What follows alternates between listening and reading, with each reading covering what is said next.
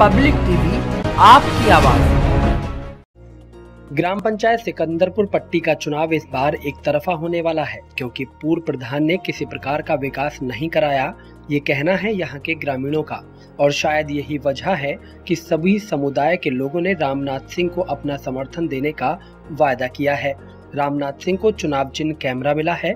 उनका कहना है कि गाँव की जनता ने उन पर भरोसा जताया तो फिर वो क्षेत्र का चहुमुखी विकास करेंगे और किसी भी प्रकार की समस्या ग्रामीणों के सामने उत्पन्न नहीं होने देंगे। रामनाथ सिंह।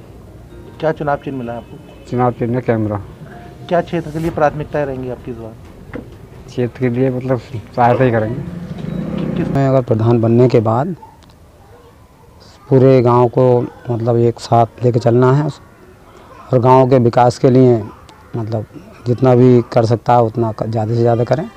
ऐसे हम ऐसा चाहते हैं जो हमारे गाँव का विकास बढ़िया होना चाहिए। आप सबसे पहले आप हाथ धो तो नाली का रास्ता साफ़ होना चाहिए।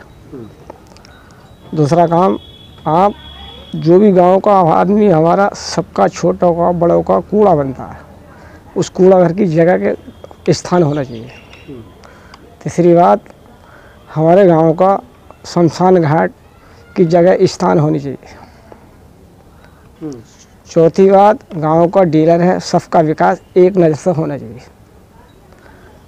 और जो आता है वे लोग का गरीब लोगों का सहायता करने के लिए और अपने गाँव की सफ़ाई के लिए। तो क्या अभी तक इन चीज़ों में बदलाव आने की उम्मीद थी लेकिन हुआ? नहीं हुआ। ये चीज़ है आज तक नहीं हुआ। पब्लिक टीवी आपकी आवाज़।